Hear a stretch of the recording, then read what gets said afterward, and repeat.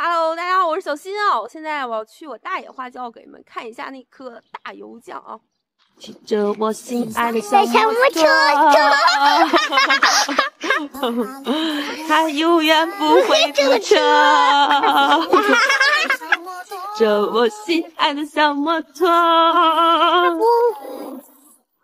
到达。风吹日晒的小摩托，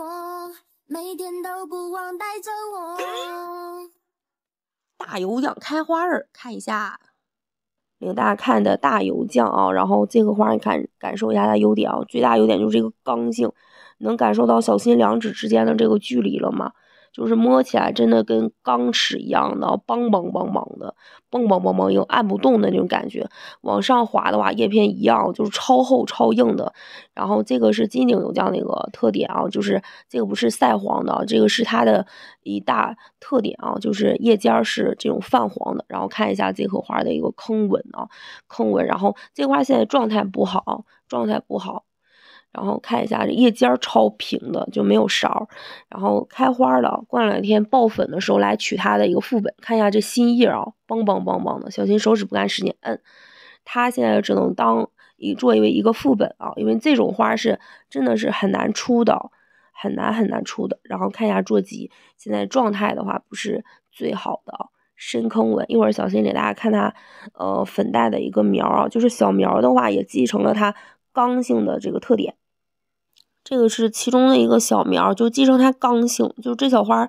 板子超厚，这是一年的小花苗就这么这么的厚啊，而且叶尖的话超平，立项很好，摸到手掌的感觉，它不是一个薄薄的一片小叶，它是那种刚性很好的。这个也是啊，这个也是它粉黛的一个小苗，就是平，然后取它的一个刚性，给给你们过眼啊，这个都是我哥的宝贝啊。